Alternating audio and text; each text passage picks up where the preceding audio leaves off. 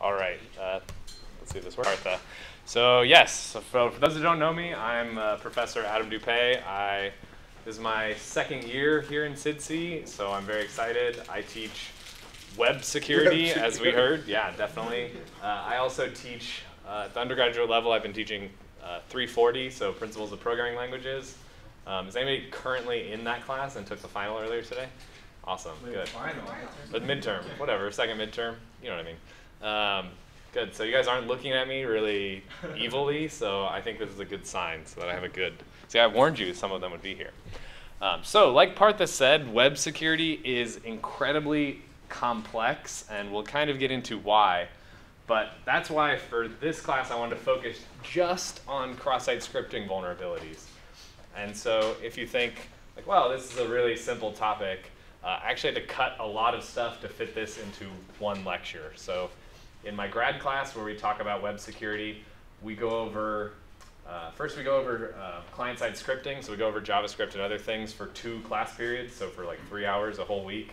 And then we talk about cross-site scripting vulnerabilities for another like day and a half later on in the course. So there's actually, and that's with all of the buildup on all the different technologies that are involved in the web. So this course, I'm to give you a crash course into cross-site scripting vulnerabilities, so you'll know the most important cross-site, the most important thing to web security, which we'll get to, and which will definitely be on a test, because I'll make sure Partha does that, uh, or Professor Dasgupta. And yeah, see, I have a lot of power, so watch out. Pop quizzes, all that kind of stuff. Okay. Um, so, uh, how many people in this room have had their information, their personal information, stolen? So the rest of you don't have any personal information, basically? Yeah. Is that why? Yeah, not really. It's hard to get your credit card stolen if you don't have one. Um, all jokes aside, honestly, and I'm raising my hand to include me in that. So literally just a month ago, I had my credit card stolen. There were charges on there from a ink supply store of like $280 that I'd never heard of before. So I called my bank and was like, eh, uh, this is not me. Um, and then there were other incoming charges from like Match.com and a bunch of other weird stuff that like looks really weird if it's coming on your credit card. So uh, luckily they took away all that stuff. But these kinds of things have been happening over and over. So way back in 2006, UCLA had 800,000 of their personal records accessed by a hacker. And once again, I was one of those 800,000. Not because I went to UCLA, but because I had applied to UCLA way back when and they still have your data. And so the hackers were able to get access to that data. Uh, the University of Texas had 200,000 personnel records stolen. Uh, people get, this is from my alma mater, so I went to UC Santa Barbara for both undergrad, master's, and PhD. And so this is an awesome story where they caught a student uh, who was changing their, his grade. So he had like, quote, quote, this wasn't really a hack, but he had figured out the password of the professor somehow. I think it's because he worked at a, if I remember correctly, he worked at a, um, at an insurance company who had like that professor information. So he was able to look up like their, their social security number, date of birth, all that stuff, all the security questions that the homework system asked. So he could reset the password, go in, change his grade. Of course, he did that from his like work computer, so it was very easy to track him, uh, and he got in trouble. Um, anybody here own Bitcoin? Did you get it before it just doubled in price in the last like three months? Oh, actually, I spent it the day before the FBI. Like, No. Yeah.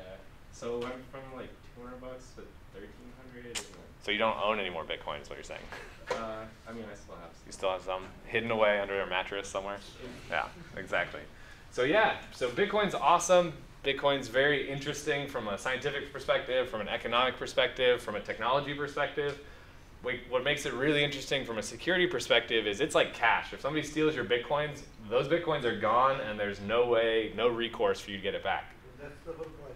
Exactly. Much more than this? Well, this exchange? exactly. So this was an exchange. Uh, I believe it was Bitstamp that got yeah, or Bitfloor was an exchange where they said, "Hey, give us your you know transfer your U.S. dollars to Bitcoin, and you could buy Bitcoin on there." So they had a lot of Bitcoin in the system.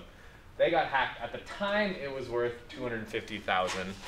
Uh, I didn't look it up, but The Mount, Mount Gox got. yeah, this was, I think, in right now it's in the tens of millions in current value of bitcoins that were stolen from this. And all it takes is one. So this is obviously an exchange which has a. How do you access this online exchange? Through their website, right? Exactly, yeah. And so all it takes is one vulnerability in that website to allow a hacker onto that machine to then allow them to go further to try and get at the Bitcoin private keys. And then once they have those, bam, they have $10 million untraceable, well, quote, quote, untraceable, but you know, there's no way, there's no legal system in Bitcoin to get that money back to their rightful owners. That money's gone. Just like if somebody broke in and stole that cash under your mattress, there's nothing they can do. It's gone. Barnes Noble was hacked. Uh, they had their credit card readers hacked. Uh, this is a they. I think Barnes and Noble was part of a big ring that was um, headed by a hacker named Albert Gonzalez, and him and his hacking crew caused 200 million dollars worth of damage by stealing. I think it was 20, 30, 40 million credit cards over the span of four or five years. So uh, he actually, if you go look up, there's a great article in the Rolling Stone about Albert Gonzalez because he and his hacker crew went on crazy like rockstar drug binges, and that's what they used all their ill-gotten gains on. Uh, but it clearly did not end well because he got 20 years in federal prison for this. So, um, all this being said, so this kind of shows you a couple of things, right? So, security is really important, which I hope is why you're in this class to learn more about security, right? So we still have breaches today, and they're happening constantly. I didn't even update this with the Office of Personnel Management breach. Anybody know what the Office of Personnel Management was? Yeah. Yeah, it's the government It's one of the employee management department. Exactly. One of the employees. Does anybody know what kinds of information was import was in there? Social security. So security number, addresses. Those are normal dumps. What are in? Fingerprints. What was it? Fingerprints, definitely. All of your family's addresses. Yeah. So that gets into why are the family addresses in there? Background checks. background checks. So yeah, in this database, this Office of Personnel Management, they had anybody who filed for security clearance for the United States. So secret, confidential, top secret. Actually, don't know all of them. But if you went through that process, all of that information that you gave the government is stored in this database. And they include questions like, tell us every bad thing you've ever done in your entire life, and we're going to put it in this database. Tell us, give us the name of five of your associates or friends so that we can put it on there. What are the names of your children? What are their ages? Where's, what's your, who are your family members? Where do they live? All of that information was in this OPM database. So when I first heard about this, I was like, wow, that sucks. It's like, you know, crappy for all those people because they have their information stolen. But I was last week I was talking with an FBI agent who works counterintelligence, and she said, or uh, counter espionage, and she said, well, you know, it's really bad if you think about, you know, one of our biggest rivals, China. So we're pretty sure that they're the ones who stole this data. So now they have a database of every person who has any type of clearance level, everything bad they've ever done, who their kids are, who their spouses are, any mistresses that they had, all of that information the Chinese now have. And so she's like, hey, we're not worried about five years from now or two years from now. We're worried about 20, 30 years from now when kids grow up and all of a sudden they use this data against them in like a espionage type way. So, uh, anyways, these things are really important, right? And so using, you know, not all of these have web components, but if a business doesn't have a website, do they even in, exist?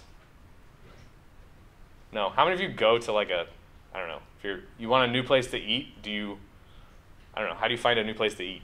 Google. Google. Google. Nobody uses Yelp. Yelp. But then what do you do when you get to their Yelp page? Yeah, you go to their webpage, right? You go to you go to the Yelp page to see the reviews, and then you're like, hmm, but I don't trust any of these crazy people, so I'm gonna look at the actual menu myself, right? So if you don't have a menu link to go look at that menu, that business better it doesn't even exist. Like it better come highly recommended. So every company needs a website as kind of their front-facing business. And are websites ever closed? No, you don't ever go to a website and say that it's closed, right? It's down for maintenance. Unless it's down for maintenance, which then you're like, that's a crappy website, right? right? So they're open all the time. Do you have geographic restric- restrictions on where you can access a website from? Sometimes. Sometimes, but most of the time, no, right? You can access it from anywhere in the world. and it can be accessed by anybody with an internet connection. So this works for you. It's great for you using a website, but a hacker can also do that. They can access any website at any time from anywhere. And so your website's open 24 hours a day to have hackers banging on it, trying to find vulnerabilities and exploiting them. Okay, before I get any further, I have to discuss this about ethics. So I do not want anybody in this room to be the next Albert Gonzalez. So it may seem like cool to be the kingpin or uh, the kingpin of this, or queenpin, I guess, of this criminal enterprise. Um, but you will get caught, you'll get sent to jail, and it's not going to be fun. Uh, so only hack sites that you own or that you have set up yourself. At the end of this talk, I'm going to give some resources where if you want to go learn these things or dive deeper, there's plenty of information, plenty of resources on your own. Please, please, please, please do not do this. Partha doesn't want to have to go visit you behind the plastic glass and be like, what went wrong? What could I have done differently? and you'll be like, if Adam had only talked about ethics, we would have been better. And he's like, he did. And you'll be like, no. Okay. Um, so you have to have either site you own or that you have explicit permission from the website owner. Um, actually, and what's really nice nowadays is, is uh, popular sites, many popular sites actually have bug bounty programs where they explicitly grant you permission to try and find vulnerabilities in their site. Um, so things like Facebook, GitHub, and Google all have these. But if you're going to do this, you have to be incredibly careful that you're doing this correctly and you're abiding by their terms of service. Uh, Facebook had a security researcher, I believe the researcher was in Turkey, who found a way to post on anybody's wall even if they weren't friends. And so he reports the vulnerability to the Facebook team, and the Facebook team said, well, it's not really a vulnerability, but there's like a language barrier there. So he tried again, hey, no, no, really, I can do this. This is definitely a security vulnerability. And they say, well, you know, it's not really. So then to prove his point, he then posts on Mark Zuckerberg's wall without being friends with him, which then caused a huge uproar. And so, you know, these bug bounty programs will actually pay you if you report a vulnerability to them. Uh, but in that case, they're like, well, look, you, our terms of service for this bug bounty, bug bounty program clearly says do not do this on any real, on the real Facebook site. They give you an awesome fake site that has uh, all test data that you can play with. Um, but he violated that, so he didn't get his money. Um, but he did get the attention, and the bug did get fixed. So the important thing is here is you will get caught. You'll get caught. Don't get caught. Okay. So what are some of the technologies in the web? So who here develops web applications, websites, or has for class? More people? A handful of you? Oh, heart. What are you all developing? Mobile apps? Is that the new hotness? Games? Console applications? Mainframes? What are you, whatever we tell you to do for class? Is that what's going on? Okay, well, cool. Okay, so what, those that do, what kind of technology is involved in a website? Just fetching, from your browser right there, fetching a, a random website. You've got. Just one. Oh. Uh, HTML. HTML? JavaScript, JavaScript? CSS, CSS? jQuery? PHP, PHP? Python. Python? Node.js, Node.js? All right, now we're just listing server-side programming languages, but it is part of it. WordPress. WordPress? I'll allow it. Counts. Anything else? What's that thing that's in front of the URL? HTTP. Yeah, HTTP, Hypertext Transport Protocol. TCP. That's another one. TCP, IP.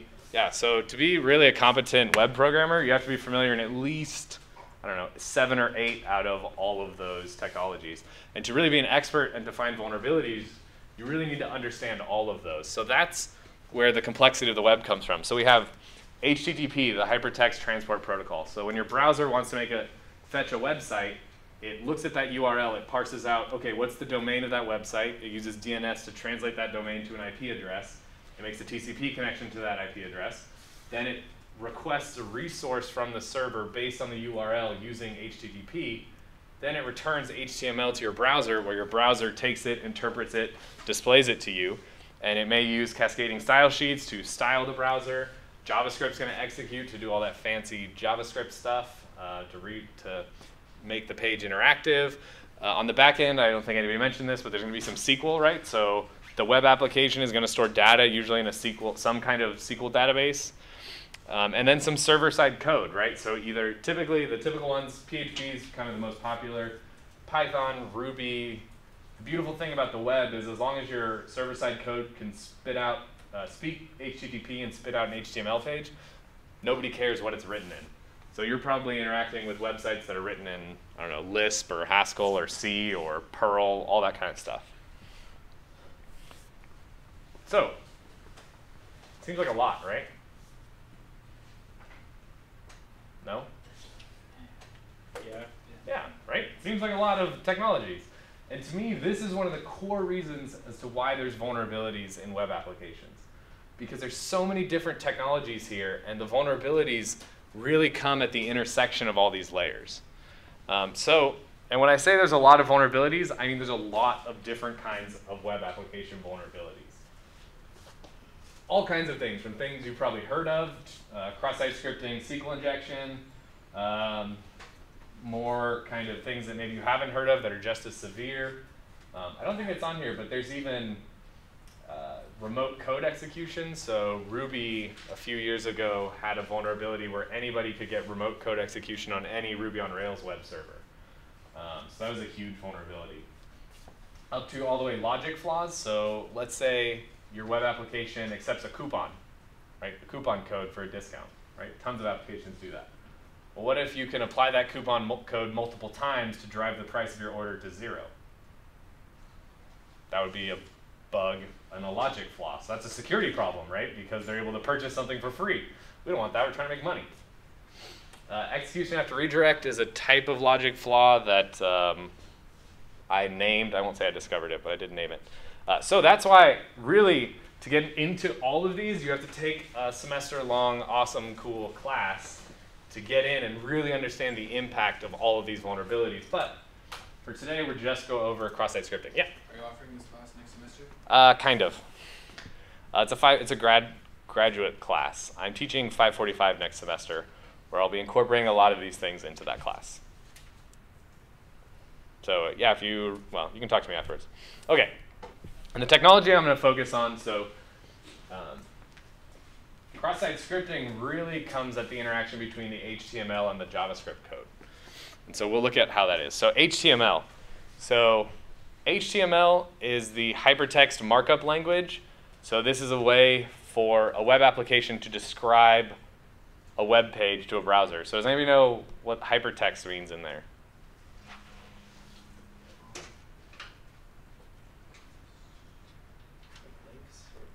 What you see in a regular HTML file. Uh, I'll go. Um, with Yes, so HTML itself is text, right? Just like a C program is is just text, right? Or a Java program is just text. So what is that hypertext? What does hypertext mean? Is it just a really cool version of text? Like it's hypertext, it's awesome.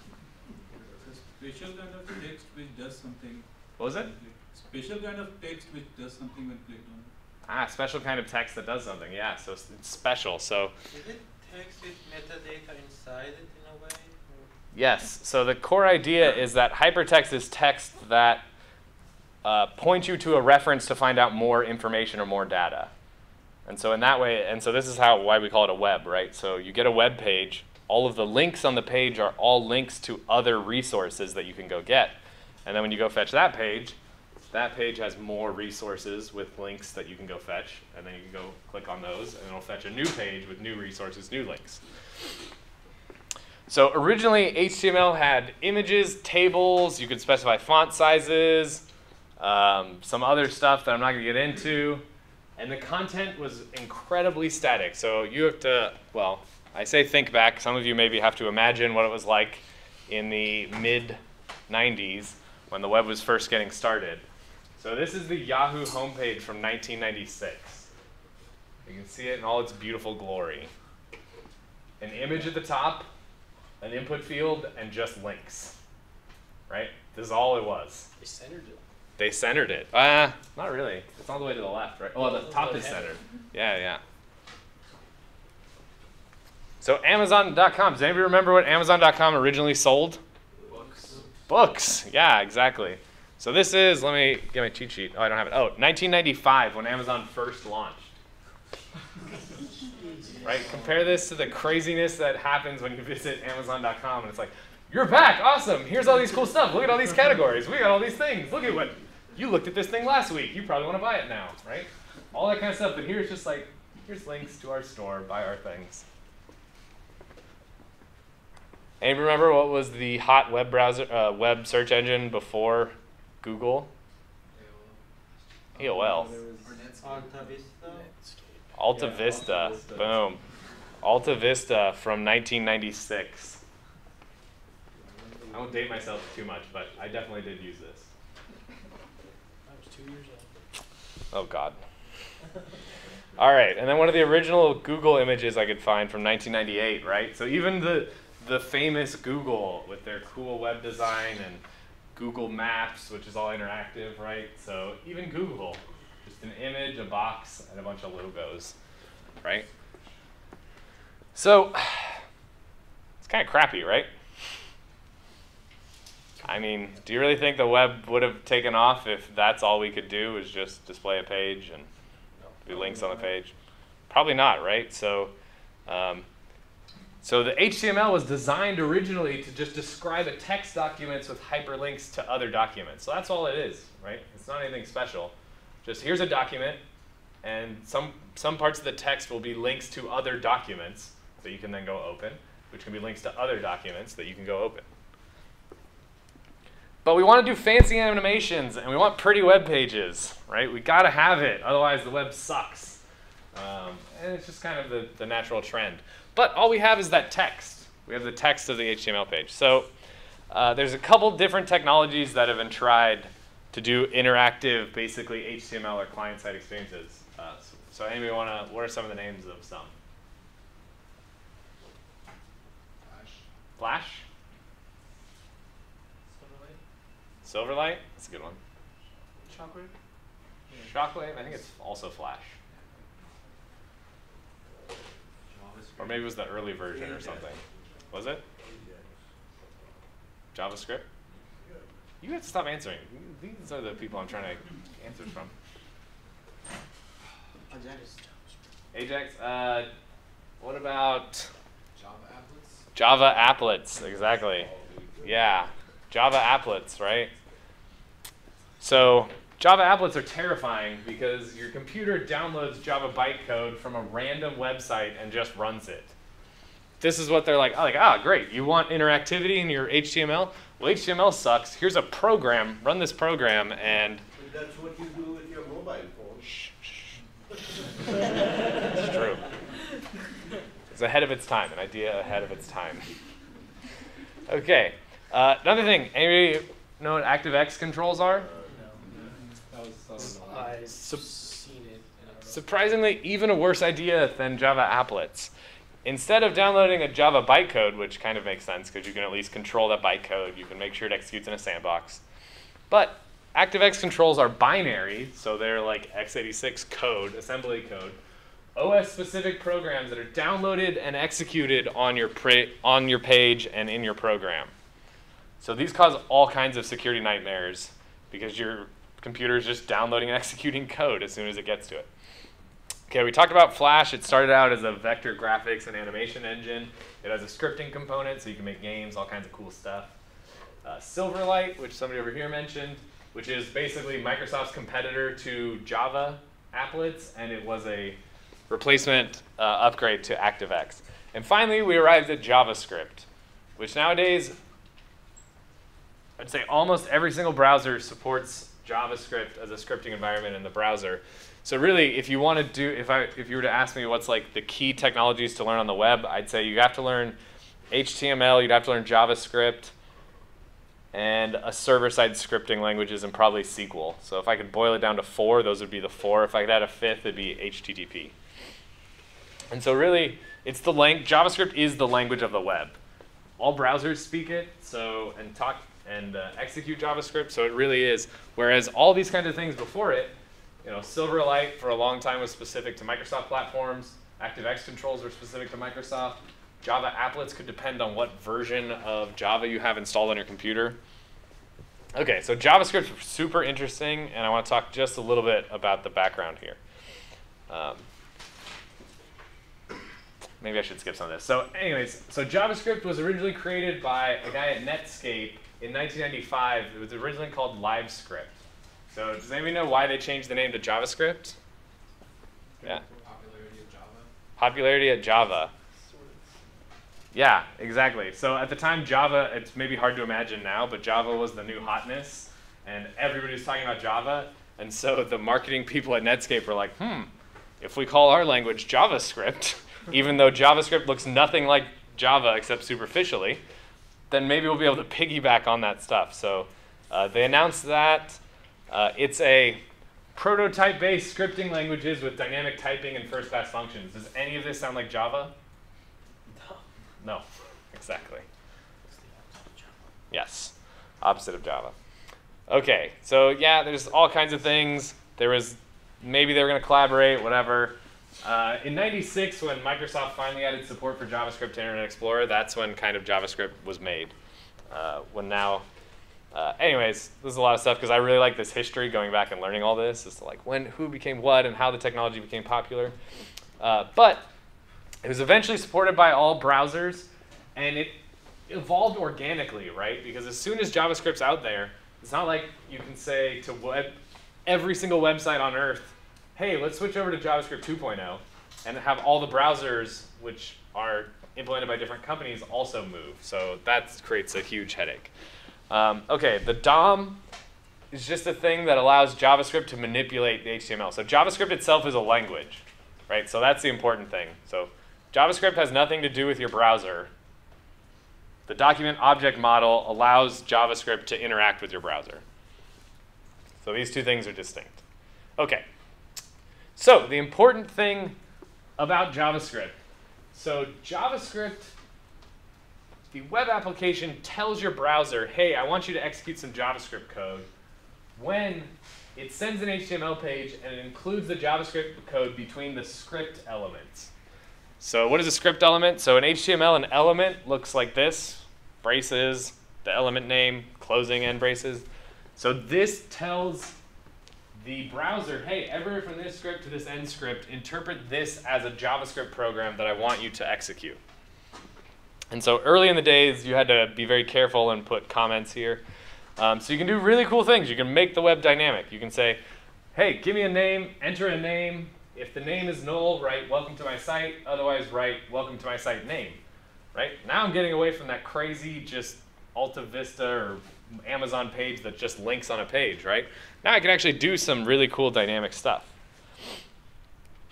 And there's other ways to include JavaScript. Um, so this is what it looks like, right? I go to this page. My browser loads this HTML. So now that I know I have some of you, this is going to be awesome. Okay, so the browser gets these bytes, right, from the starting script tag to this ending script tag. So some of you who are in my 340 or have taken 340, what does the browser have to do with these bytes to recognize this as, a, as JavaScript?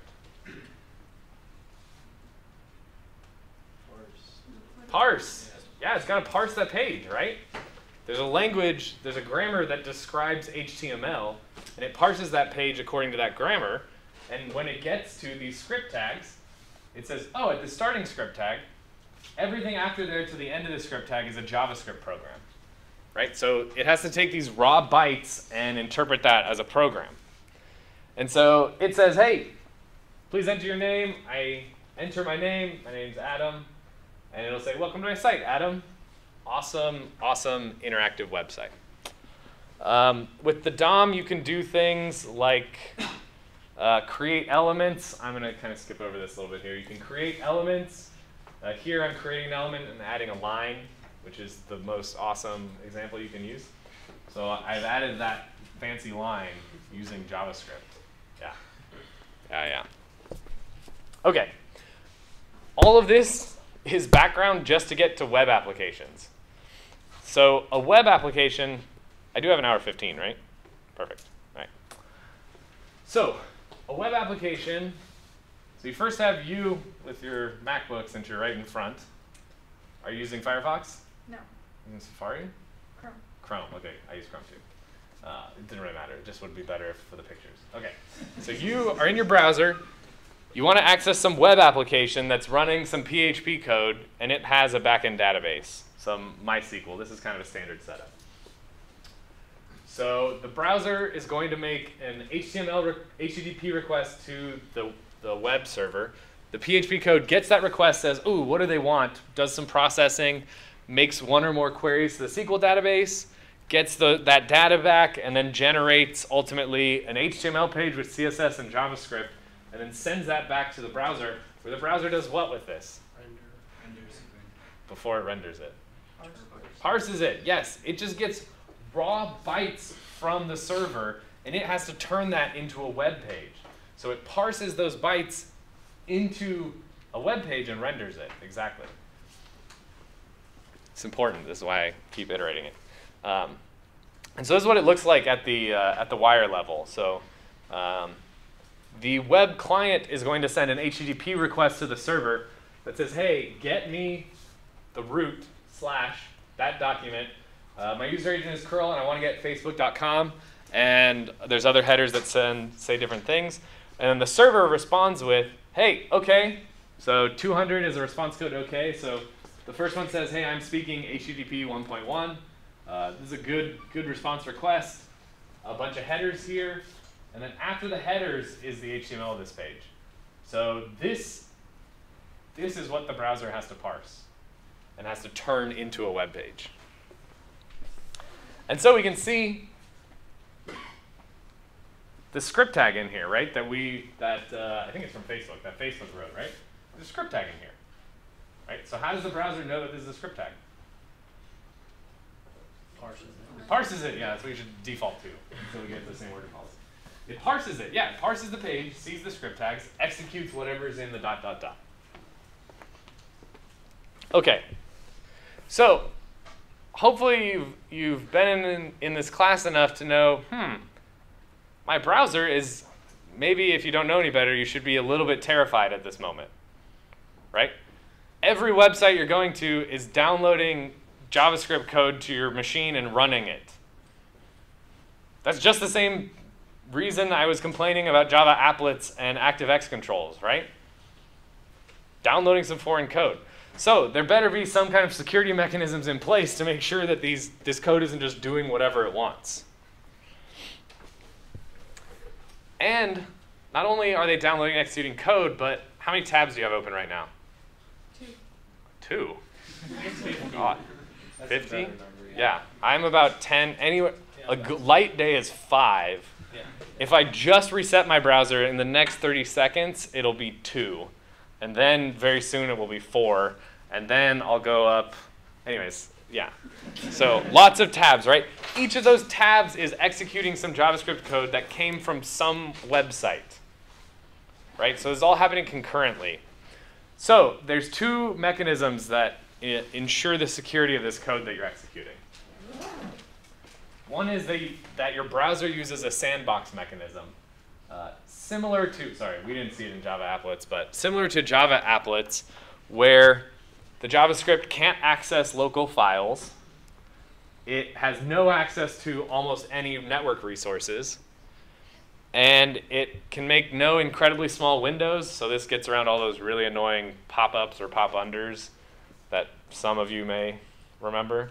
Um, and it has no access to the browser's history. So even though it is code, so it's code, it's basically a program, right? But it can't access anything on your computer, so that's at least a little bit better. Definitely better than ActiveX controls. Uh, any questions so far? All right, the, the specific details of the sandbox really depend on the browser. Okay, so what this means is I have, in my browser right now, I have two tabs open, right? This one tab has Facebook. This other tab has CNN. They're both executing JavaScript code in my browser. So we just said, okay, well, that code is sandboxed in that they can't access any local files. But can Facebook mess with things on CNN and CNN mess with things on Facebook? No. No, kind of. The same origin. Hard security guarantee. Same origin policy. Well, We're gonna get to that in a second. Yeah, so there's nothing, you know, we need another security mechanism. So just sandboxing the code isn't enough. Because there are times we want. So if you had two tabs open of Gmail or whatever, Facebook, maybe you want those to communicate. And so this is the most important thing from this class is the same origin policy. Um, so same origin policy is a standard security policy for JavaScript about browsers. So this controls and restricts what resources JavaScript code can access. And it's incredibly important to web security. If you only learn one thing, I don't really care about the cross-site scripting stuff, same origin policy. Because as we'll see, cross-site scripting is just about subverting the same origin policy. So if you don't understand that, then it doesn't matter who cares about cross-site scripting. So it's defined as every frame or tab in a browser's window is associated with a domain. So I think about it as tabs. If you get into this, you'll look at frames. And so domain is determined by this tuple, three tuple. A protocol, so the protocol is the thing at the start of the URL, so HTTP or HTTPS, or file if it's a local file on your computer. The protocol, the domain that you got this file from, and the port that you got that file from. Everybody know what a domain is? Everybody know what a port is? Okay. So, the same origin policy means that code downloaded in a frame or tab can only ac- access the resources associated with the domain that it was downloaded from. Right? So if you go to facebook.com, well, actually, we'll see an example. Um, so this is a little subtlety here, which maybe I shouldn't get into, but um, okay. So on my website, if you go there, uh, ah, okay, I don't want to get into that. Okay, so going back to our example, same origin policy. So when I go to https facebook.com, what's the what's the three tuple here? What's the protocol? HTTPS. What's the domain? Wait, yeah, HTTPS. Some of you stopped talking before the S, right? The protocol is HTTPS, and you know that by knowing how to parse URLs, which we didn't go over, but it's that part of the URL. What's the domain? Facebook. No. www.facebook. www.facebook.com. What's the port? 443. 443, yeah. Very good. So that's the default port of HTTPS if it's not specified. What about HTTP www.cnn.com? What's the protocol? HTTP. HTTP, the domain, www.cnn.com. www.cnn.com, and the port? 80. 80. Yay. Awesome. Perfect. So this means that JavaScript that comes from Facebook.com cannot access the cookies, the resources, the image, the page contents of anything in any other domain. So this is why Facebook.com can't mess with CNN.com and why CNN.com's JavaScript can't mess with anything on the Facebook.com page. Otherwise, it'd be a mess, right? There would be any random web page you went to could change all of your tabs and it would wreak havoc. Okay, now we're gonna get to cross-site scripting. Yeah. What about like when, so if you have like HTTP for one site and then HTTPS for the other site in two tabs? Yep. Can't they, talk. They can't talk. Correct. They can maybe communicate through the site though, Yeah. right? So they can both make a connection to the backend server who could pass messages if they needed to. But yeah, but they can't access like each other's cookies or local storage, anything like that. Okay. So cross-site scripting, the whole thing about cross-site scripting is they're used to bypass JavaScript's same origin policy. So what does this mean? You can touch information. Yeah. No, so I have a more fundamental question. Cool. That XSS attacks are not only about same origin policy because in the beginning, for example, in the forums you could have XSS attacks without same because that same origin was something else, but you can have that attack on one side, i- insert some JavaScript and run it, and then people viewing that site afterward can have that attack on their system. Exactly, and that's a circumvention of the same origin policy. So let's think about it this way. Uh, so you're in front, you're going to be one. You're a good website. I'm a browser, I go execute your JavaScript. You're a bad website, right? I go to you, I can still, if I go and access a bad person's JavaScript code, that JavaScript code will execute on my browser. So you're still ex- I'm executing your JavaScript code, but your code, because of the same origin policy, can't access any of our resources on this good site. You can't access cookies. You can't make requests to that site. Nothing. Oh, so I'm speaking. I, I know. I think you know what I'm speaking about, but I don't know But why it you same origin policy. That's the difference. So the thing is, if you had some JavaScript code that was bad, right? Your bad JavaScript code. If you gave it to what's your name? Caitlin. If you gave it to Caitlin and then she gives it to me, now I'm executing her code plus your code in her same or in her origin. Yeah. So it is a circumvention of the same origin policy. Mm. So it's not a circumvention of the browser's mechanisms to determine same origin, although that can happen, but other issue. Um, but what happens is, as we'll see, basically, you trick Caitlin into sending me some of your code that you decide what it is. Okay, let's look at an example because I like examples. Okay, we have an incredibly simple PH, is it PHP? Yeah, PHP-ish page. Um, so anybody with familiarity with PHP or ASP.NET, what's going on here? You're just adding the name. So what happens to everything else? So this is a program. Uh, it's all just rendered like that except for the PHP, which has changed. Right. So this is kind of what's called the templating language. So the only thing that matters is everything in between these purple tags that you may not be able to see very well. Uh, the the uh, what is it? Uh, less than symbol, the question mark, and the equal sign means when you execute this program, everything outside of that leave it as normal, and what's inside here, this this dollar sign name variable, replace right here where this tag is, replace that with whatever the name variable holds. So everything outside this tag remains exactly the same. But at runtime, whatever this name variable has, that'll be substituted and sent to the browser as bytes. So if you were to access this test page and say, hey, I want test page, I want uh, test or server, I want test.php with a name parameter of Adam, it has its code. And let's say that that name variable is mapped to this value right here in the URL, this Adam. And so the web server says, great, I know how to do this request. I just take whatever this name variable, the value of this name variable, which is this part here, I'm going to substitute that here, and now I have a bunch. So before I had a PHP program, now what do I have? I have a bunch of bytes that should be HTML, that I want them to be HTML. They're really not HTML yet. They're just a bunch of bytes that I ship over to the browser, where the browser does what? Yes, it parses those bytes into HTML, and then it displays a screen that says, hello, Adam, which looks something like this.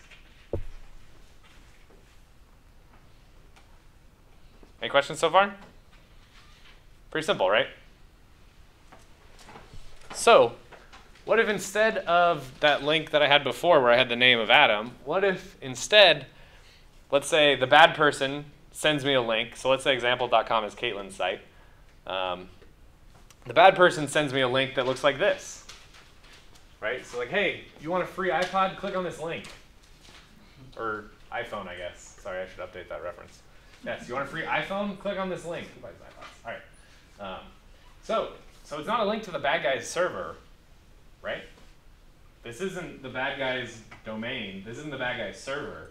He's sending me to Caitlin's web page, this test PHP, but he's just set the name tag to be these script tags, right?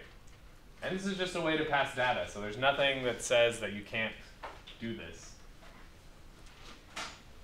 So then I click that link, my browser makes a request to Caitlin's server, and so what does the PHP code do?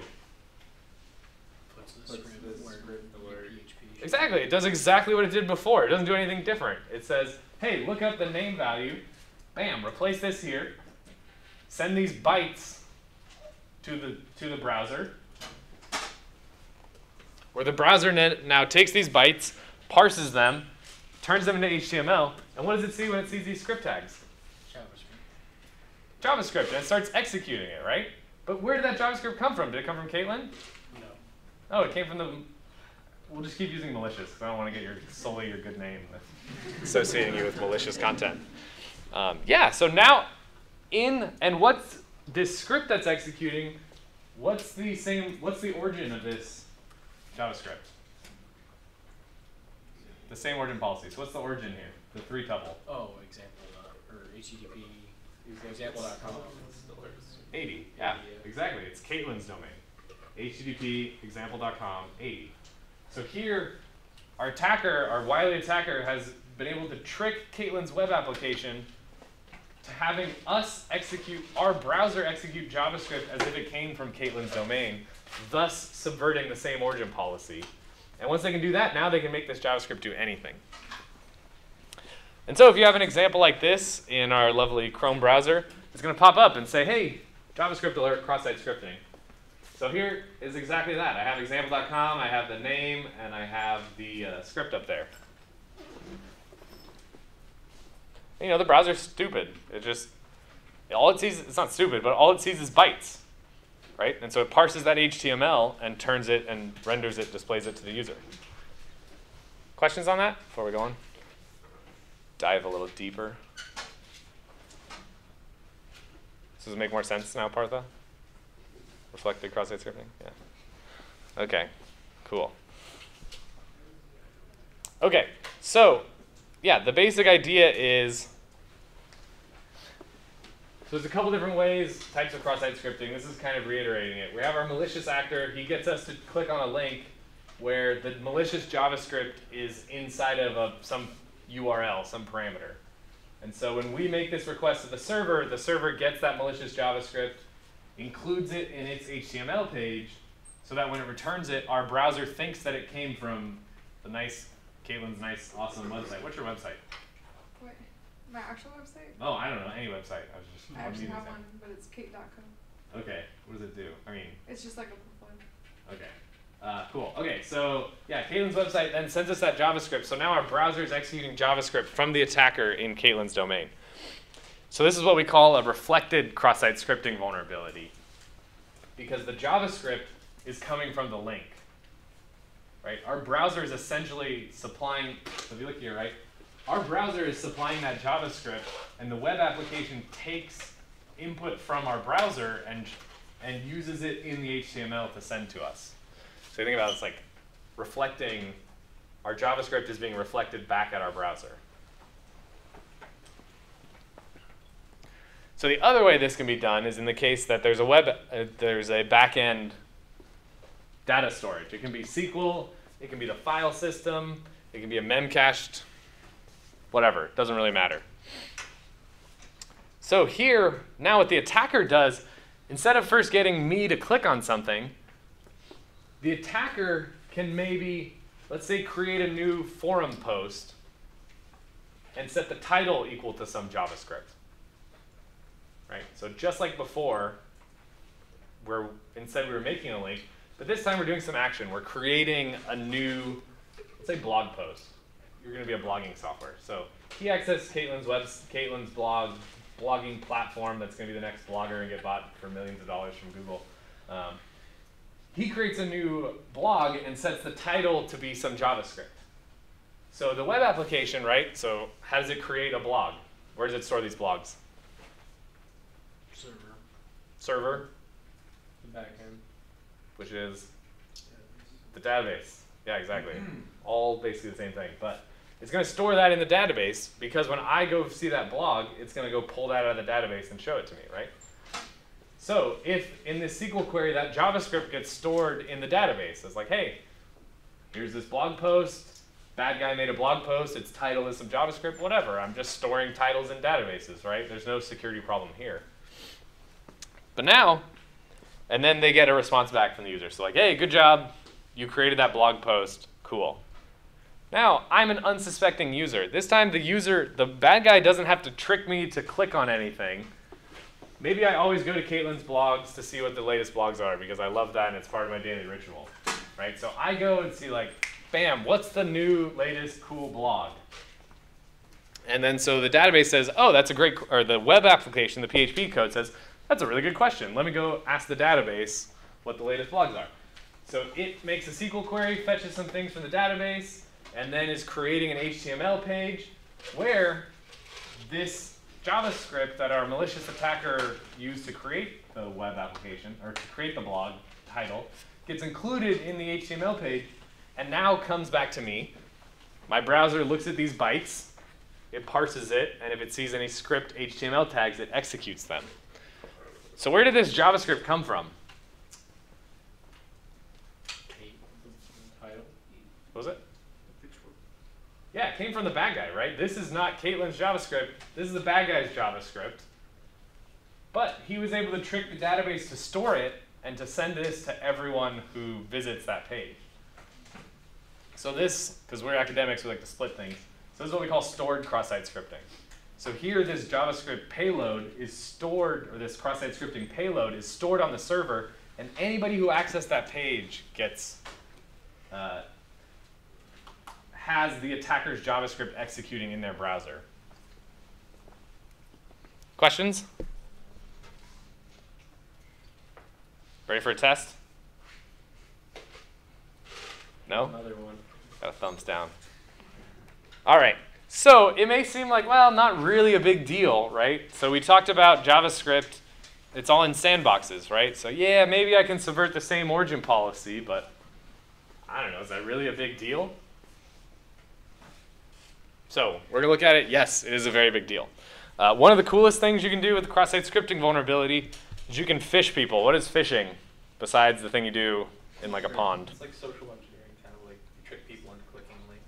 Trick people into clicking a link. like instead of Facebook, it's like face One book or something that they might Yes. not notice. Exactly. Yeah, so you're trying to get, so the phishing aspect comes from you're trying to get people's credentials, their username, passwords to go to you, to Facebook, to their banks, to PayPal, all that kind of stuff, right? And so typically what happens is the bad guys will trick you to click on a link that takes you to facebook.com, and you look at it, don't realize three O's is not two O's, or maybe two of them are zeros instead of uh, O's, and so it looks like Facebook. And so it looks like the login page, right? It looks identical. So you put in your information, and it goes, oh, that's weird. You weren't logged in. That's funny. And then it redirects you silently to the real Facebook, where you actually put in your real credentials, and you get in. But that first time, that attacker got your Facebook username and password. So cross-site scripting attacks can make phishing even more dangerous because this malicious JavaScript that came from our awesome attacker, because it has bypassed the same origin policy, it's executing in Caitlin's origin, it has complete control to, of the DOM in that origin. So the DOM is everything, the entire look and feel of this page. So this means that it can uh, change what seems to be the current page to a login page that looks exactly like the real login page. It's on the real domain, but when you fill in your username and password, it actually goes to the attacker. So I, I did not. Okay, so this is an example. I, I have done this in other domains, but um, for this example, so let's say I send you this link to Facebook, right? It's a login page, right? Everybody's seen this login page. Maybe. I don't know. Does anybody not use Facebook? A few people. Interesting. All right.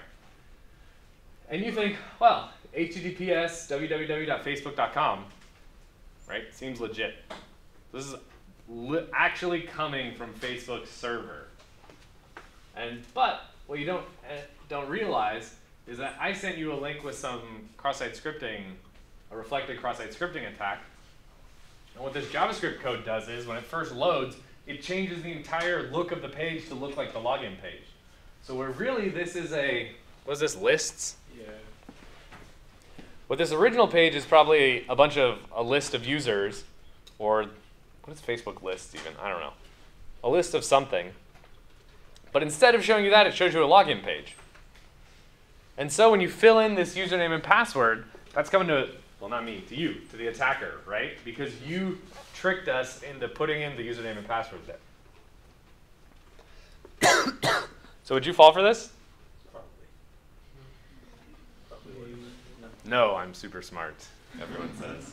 Uh, great, then in this, yeah, you'd like to think you would. So in this, it's pretty easy, but everybody's seen the percent junk in URLs, right? There's So I could completely hide all of that in percents, and you'll never know by looking at it what it is, or if it's a normal part of Facebook. It just looks like a link, like every other link. Or if I'm really mean and I know you like uh, URL shorteners, I'll send you like a bit.ly link, right? And then you have nothing.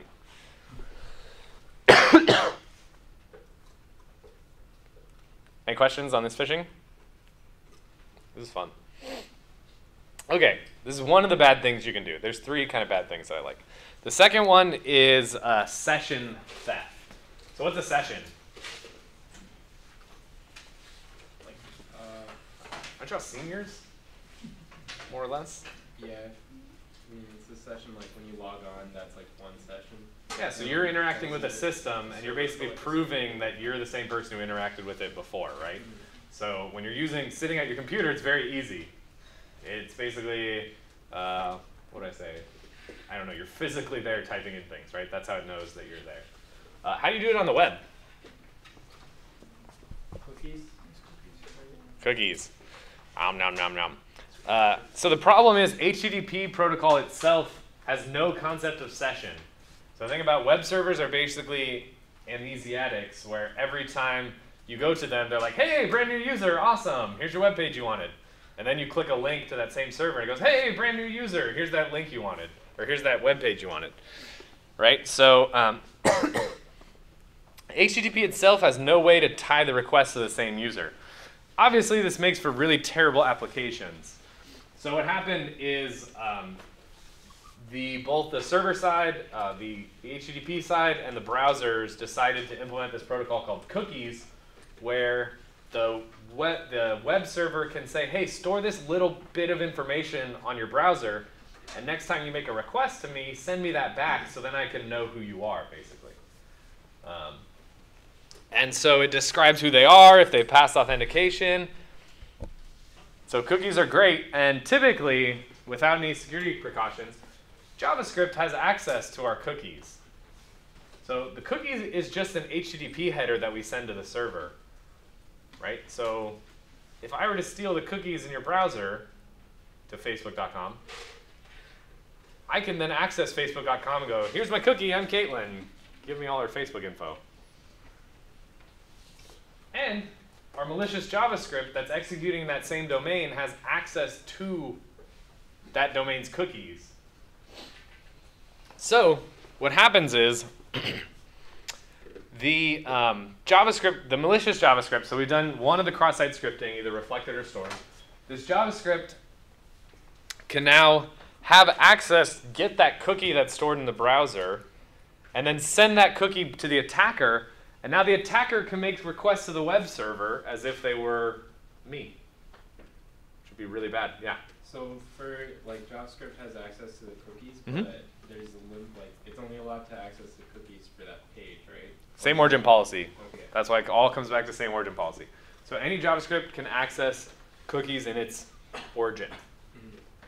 So that's why I, you'll have different cookies if you sign in with, well, there's also a whole other, th- yeah, anyways. So yes. Connection to the malicious user? Uh, you can be very tricky and you can, um, you can't, JavaScript code can't make uh, TCP connection directly. It also can't make an HTTP request directly, uh, bec- um, but it can, an image tag has a source to go fetch an image, and so you can embed the cookie data inside of an image to a malicious person's server. So your browser, right, when it loads any page, all the image tags on it automatically get fetched and loaded. So that fetch happens through a URL. So I can embed that cookie into the URL, and you would write a little image that's not displayable, but the browser sees it and then goes to try to load that image, and it sends the data over there. Didn't you also, uh, do Ajax calls or, or, uh, send an email to yourself with JavaScript? Uh, you, so for Ajax calls, um, short answer is it depends. I wouldn't try to rely on that because uh, Ajax, well, yeah, you can. Uh, you can't get the. Res- huh? What am I thinking of? Um, can't remember off the top of my head how the same origin policy restricts Ajax requests.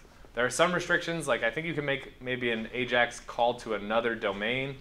No, I think you have to have like a CORS, like the cross origin request header on that server sent. to accept those cross-origin requests. I can't remember how it works, but it's tricky. You also can't review the response. It's super easy to put in an image tag. Yeah. Why does JavaScript has access to the cookies? Like what advantage does it provide to That's how you write them to the browser. Um, you may want to store data in the cookie from JavaScript code, but actually one of the security mechanisms to prevent this is a web application can set a header or set a flag on the cookie that says don't allow JavaScript access to this cookie. So that helps for this, but it does not help. oh, sorry, I forgot to complete this. So now the attacker can make an HTTP request to the server with that cookie, and it appears as if it's coming from me.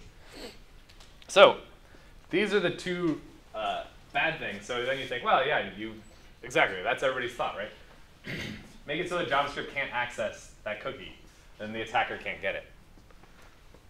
So what you can do through AJAX calls, JavaScript can make requests to the web application that it's to its at least it's definitely its its same origin.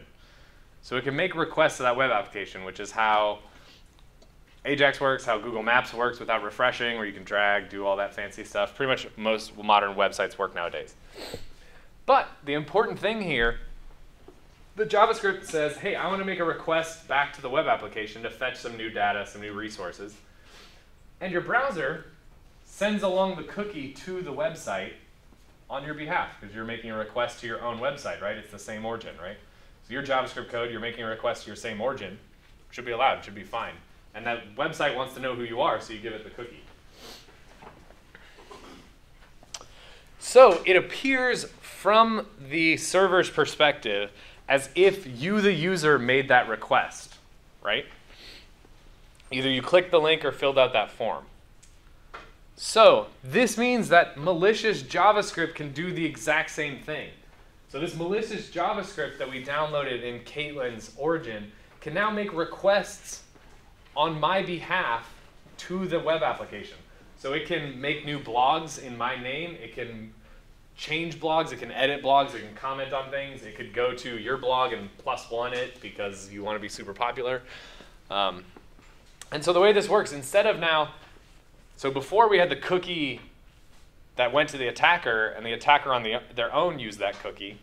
Now the JavaScript code just says, the malicious JavaScript code says, hey, make a request to this web server, and your browser just sends along the cookie, makes the request just as normal, and gets some response back. And the web application has no way of knowing that it came from malicious JavaScript or good JavaScript.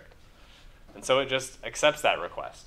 So if you think about a banking application, right? So this is why these, this thing is, these are really serious. So cross-site scripting on a banking application, now I can initiate a money transfer as you, right? I could uh, add my account as one of the accounts that can withdraw from your account, right? And you think, maybe you know a little about web, so you're like, ah, CSRF. Well, with JavaScript, I can write any program I want. I can fetch the page first, get the CSRF token, and then use that in my actual request. So really, in JavaScript, I can do anything that you can do on that web application. Any questions before we go into famous exploits? No, these are all part of the reflection attack. Either one, doesn't matter. Are all the. Yes. But uh, any web, any website cleaning out script tags Yes. And even if they're not, that's the other thing, right? So that's part of the problem is the browser really the more I think about this, the fundamental problem is Caitlin's website has some code it wants us to execute. Right? Some JavaScript code that she has written that she wants our browser to execute. But when the browser gets all those bytes back from the server, it doesn't know which JavaScript code came from Caitlin and which one came from our malicious user. All it sees is script tags and it just executes. And so to me, that's what it boils down to is the fact that it has no way of knowing who's the good code, who's the bad code, right? So it executes everything. No, but that website has a way of knowing, not your browser. Yes, maybe, maybe not. Maybe she generates her uh, JavaScript dynamically. You can have a PH, you know, just like I said, it's just bytes, right? A PHP script can generate an HTML page. It can also generate JavaScript code. All kinds of fun stuff. okay. So putting these together, especially this last one, you can do really cool things. Sorry. One of the really cool things that can happen that you're not going to do unless it's on your own system is you can actually make worms, uh, cross-site scripting worms. So what's a worm uh, that's not the little thing you put on the end of your fit hook when you're fishing in the security context?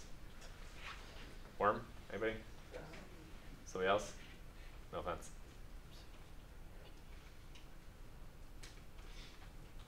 You wanna go? Take a stab? You don't have to be right, it's okay.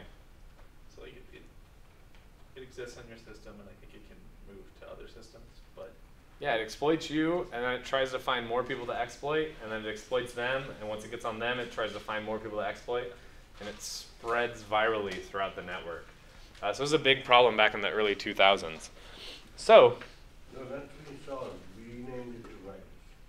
oh, virus is different. Virus is different. Well, maybe. I don't know. Yeah. Okay, but it came back in the mid 2000s. Yeah. Uh, so, what you need for a, uh, cross-site scripting worm is you need a stored cross-site scripting vulnerability. So you need something that persists, and you need a way to execute unauthorized actions, and you need this stored. The attacker, when he injects the JavaScript into there, needs to be able to do it with these unauthorized actions. Because it's pretty simple, right? So the JavaScript code, the unauthorized action that it performs on your behalf is creating a um, is exploiting that JavaScript payload. So the best way to think about it is social networks. So you have a Facebook page. You can edit your Facebook page to say something about you, right? Yeah. Yes, it hasn't changed that much. Yes. Okay. So let's say there's a vulnerability in the About Me section, right? So you can edit that, put in JavaScript code, and now anybody who visits your page, I'm executing JavaScript code on your machine on your behalf. So what do I have that JavaScript code do? I have it change your About Me section to have it put its own code itself, that JavaScript payload, into your page. And then so when anybody access, any of your friends access your page, that JavaScript payload on their page changes their About Me configuration and then puts the code there. It spreads throughout the network, affecting everybody's machine. so there's actually a really famous example we'll look at from 2005 on, oh god, I kind of, I hate asking this question, I'm going to hate it as I keep going, but uh, anybody actually use MySpace or know what MySpace looked like? Oh, thankfully. Wait, Okay. anymore? Huh? Like now or? I don't know, at any point in time. Does anybody actually use it now? I sure hope. Okay. So in 2005, there's a huge uh, cross-site scripting worm that was called Samy Was My Hero. So we'll look at why. But it's not just an old thing. Uh, TweetDeck, the Twitter application, had a vulnerability where a, a cross-site scripting vulnerability where it would execute JavaScript in a tweet, and that JavaScript would post a new tweet with that JavaScript code in there that would post a tweet when you posted it, when you viewed it. So it's anybody who saw that message on their TweetDeck tweeted out a new message containing that worm, and so it propagated throughout the network. Okay, so this is a old, old Google um, Google search for Samy is my hero. And as part of this worm, what it did was it added to their profile, but most of all, Sam, here, but most of all, Samy is my hero. Uh, but most of all, Samy is my hero. Most of all, Samy is my hero. So Samy is the name of the guy who wrote this worm. And it also, you can see a bunch. So what's this? This, oh, it doesn't have the list here, but this has 3,500 results containing Samy is my hero.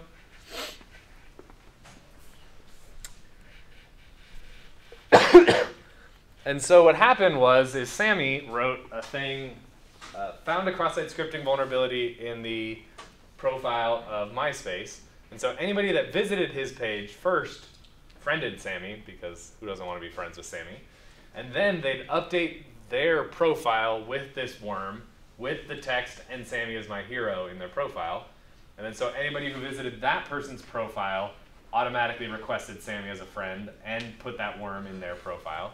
And it went through on the network until he had, I think this was like after half a day or something, he had almost a million friend requests on MySpace.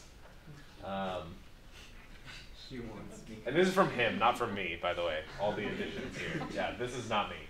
Um, this is from his site. I think I have. No, I don't. Oh yeah, I have the link in the lower right here. You can go look at the whole story. So he actually has technical defini- uh, descriptions of how he did it, all that stuff, which is really cool. Okay, so we definitely have to talk about prevention because we've talked a lot about exploitation and how to attack. Uh, is it easy to fix cross-site scripting vulnerabilities? There's a lot of different ones. You could prevent JavaScript from running. Huh? You could prevent JavaScript from running. Could prevent JavaScript from running. I do like that idea, but then you lose out on the beauty of the. plugin from JavaScript. Yeah, you lose, you lose the beauty of the web. Um, well, one of the proofs, well, proofs that it's still a problem. So that Samy Worm was from 2005, and I didn't look it up, but I'm without a doubt there's probably cross-site scripting vulnerabilities in a Google web application within the last three or four months. Like these things are still happening in all kinds of applications a decade later. And it's because it's very, very difficult to protect, prevent. And this is kind of the problem with just doing this in one lecture, is I can't really show you all the examples of why it's crazy complicated. One of the problems is every piece of data that's returned to the user, right, that can be influenced by the user's inputs to the application must be sanitized. Whether that came from the get parameters in the URL, post parameters from the user, any cookies, cookies come from the user. You can put a you can put JavaScript in there, a cross-site scripting payload there. Um, the request headers, the HTTP request headers, you can put cross-site scripting vulnerabilities there. What about if the database fetches Twitter feeds that are then used in HTML? Right? It's from a third party, but if it ends up in an HTML response, you've got to make sure that it doesn't have any unexpected JavaScript. Uh, file contents. What if I can upload a file that gets included in a page? Right? All think, so these the attack surface of a web application is huge. Any place that data comes in and then can go into an HTML page has to be sanitized. So specific languages, PHP, often provide, they have routines to prevent uh, introducing code. But the problem is, so the way this works, I don't have a slide, but it's, it's fairly simple. So the problem is, is that the browser looks for these tags, right? So it looks for a less than symbol, a tag name, and then a greater than symbol. The sanitization takes the less than symbol and turns it into uh, ampersand L, whoops, LT less than semicolon. This is a way to tell the browser, hey, show me a text less than symbol. Don't interpret this as the special HTML less than symbol. So this is what we mean by sanitization here, where now if our attacker's JavaScript, the script tags that he gives us, if it's translated to this, percent LT, oops, right, script, well now the browser doesn't see this as a script tag. It sees this as, hey, show me the text less than symbol script and so that's how sanitization works. The really big problem is that HTML is very complicated and different sanitization needs to be performed depending on where in the HTML page the data is used. So if you're in a, um, if you're worried about just script tags like this, this is one way to execute JavaScript. You can execute JavaScript as attributes of elements. You can execute JavaScript inside JavaScript. So like I said, if you're dynamically creating JavaScript and using something from the user, then I never need an opening script tag because I'm already inside JavaScript. I can just change it to do what I want. Uh, there's even a whole other thing I didn't even talk about, but JavaScript has an eval function which takes in a string and interprets it as JavaScript code and executes it. So now, as long as the attacker can get control that string that gets executed, they can execute arbitrary JavaScript code. Um, so this is something that I and other people have tried to study is the fact that the sanitization has to be performed based on the HTML context. It's not like there's just one thing, hey, do this sanitization, you'll be safe. So it's really difficult. So it's got to sanitize all your input. Um, yeah, very important. Okay, tools, if you want to go more into this. Oh, sorry, I'm a little bit over time. Okay, some important tools. Uh, these top two tools, you need to know what's going on in your browser to uh, debug JavaScript, so the browser developer tools. You need to be able to look at what's happening on the wire with something like Wireshark. Uh, Burp Proxy is actually a professional pen testing tool. They have a free version, but when I do professional pen tests, this is what I use. Um, These last two are links to applications that you are have free reign to go do whatever you want. Uh, the Google Gruyere, I'll say, is awesome. So this, you go here, you click a button, it launches you a fresh instance of this application, and there's a ton of vulnerabilities. So it'll tell you which ones they are. You can get get hints, all that kind of stuff. So it's really fun to play around with. Uh, thank you for having me. I'm sorry I took a little bit longer than necessary, but uh, yeah, I'd be happy to answer any questions. I don't know. You guys just want to go, so. Fine with that too. Thank you, I guess. Thank you.